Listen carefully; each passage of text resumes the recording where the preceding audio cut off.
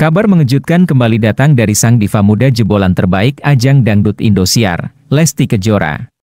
Bagaimana tidak, dikabarkan lewat salah satu portal pemberitaan ternama di Indonesia, Lesti Kejora resmi dikontrak secara permanen oleh Partai Nasional Demokrat atau Nasdem, sebagai biduan yang akan mendampingi calon Presiden Anies Baswedan selama masa kampanye Pilpres berlangsung nanti.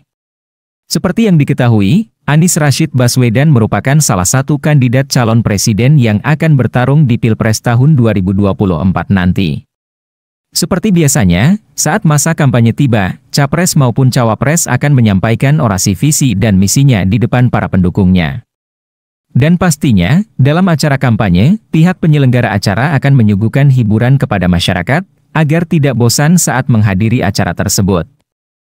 Di sini, Partai pendukung Anies Baswedan yang terhimpun dari Partai Nasdem, PKS dan Demokrat, atau yang disebut Koalisi Perubahan, mempercayai Lesti Kejora untuk dikontrak secara permanen, selama calon Presiden Anies Baswedan berkampanye nanti. Bukan tanpa alasan, menurut penelusuran tim kami, alasan Lesti Kejora dikontrak panjang untuk dampingi Anies selama berkampanye, dikarenakan Lesti Kejora mempunyai daya tarik yang cukup kuat di kalangan masyarakat. Selain dari itu, istri dari aktor tampan berdarah Minang tersebut juga mempunyai penggemar fanatik yang tersebar di seluruh pelosok negeri bahkan di mancanegara.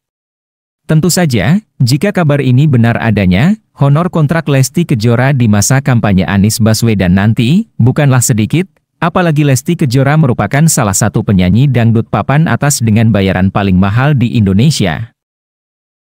Seperti yang diketahui, tarif Lesti Kejora untuk sekali manggung, dengan membawakan 7-8 lagu, ibunda dari Muhammad Leslar Al-Fatih Bilar tersebut dibayar lebih dari 300 juta rupiah.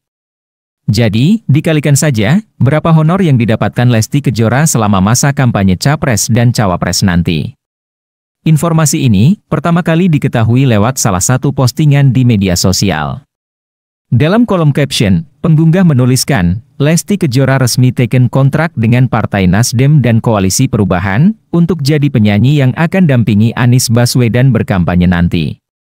Sontak saja, unggahan tersebut seketika langsung diserbu oleh banyak warganet. Berbagai komentar pun turut dilontarkan oleh netizen menanggapi postingan itu. Namun sayangnya, kabar ini belum bisa diverifikasi secara akurat, mengingat sampai detik ini Lesti Kejora maupun pihak manajemen TA belum sepatah kata pun memberikan klarifikasi jelas terkait pemberitaan tersebut, antara benar atau tidaknya.